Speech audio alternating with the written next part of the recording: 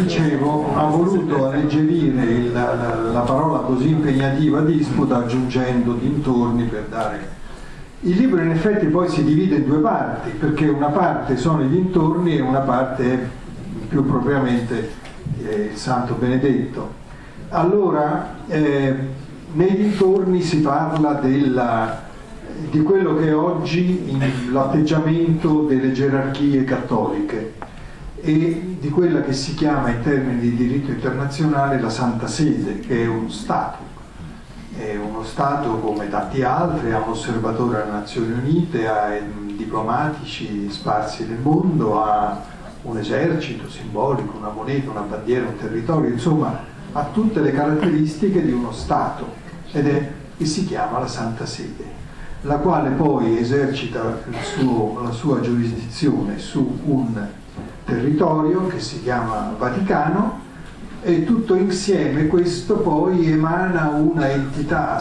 immateriale che si chiama Chiesa, Ecclesia, cioè comunità. Ecco, di questa complessa anche dal punto di vista giuridico struttura, il professor Mancuso ed io veniamo a parlare nella prima parte, esprimendo come ha anticipato la dottoressa Benedetti, dei, dei eh, punti di vista che spesso, so, insomma, qualche, qualche, più di qualche volta, collimano, sono analoghi.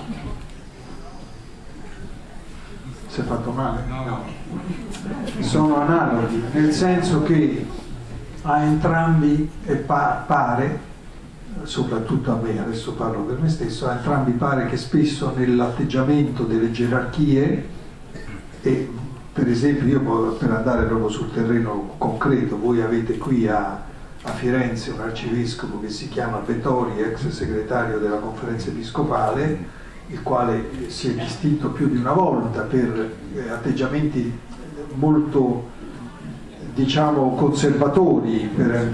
per, essere, per, per, capirci con un aggettivo solo, molto di, di retroguardia, molto diversi da quelli che a parere di molti,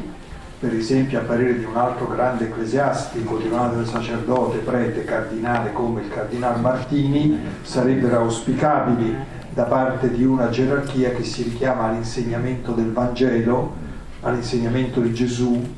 e dunque a una cosa che possiamo indicare in termini generali come amore o caritas più che come giudizio o come imposizione. Ecco, questa è per quanto riguarda la parte. Io eh, poi dopo possiamo, volevo solo enunciare qual era il terreno sul quale ci siamo, abbiamo discusso e poi dopo vediamo il resto. Adesso qualcuno vuole dire qualche cosa.